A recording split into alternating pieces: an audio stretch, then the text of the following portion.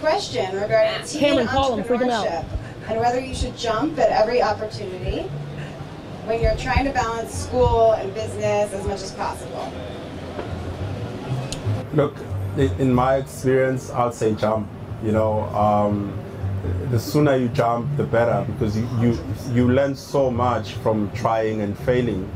Um, if you if you don't try now, you might just try a little bit too late. You know, so learn now while you're 16. By 18, you'll have an experience of some sort.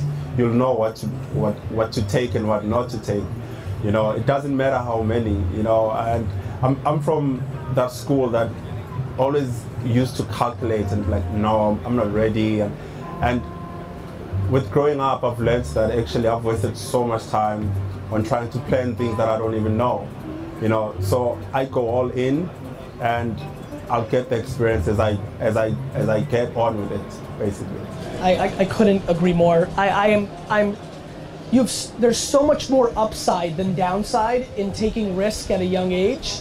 It's just practical. It's practical to go high risk, high reward in your teens and 20s. It's just life practical. And I and I think the reason people don't is they love their parents or grandparents or somebody in their life that they don't want to disappoint by doing the thing that seems crazy to that elder.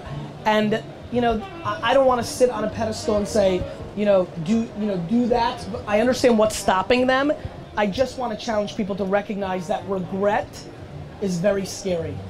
And what ends up happening is you're protecting your parents' feelings in your 20s by doing the thing you want them to do, but how it manifests is in a relationship in your 40s, 50s, and 60s with your parents that is less healthy because you start blaming them for not taking those jumps. And so I feel like you can fight with your parents now or later, and I just think it works out much better in the upfront.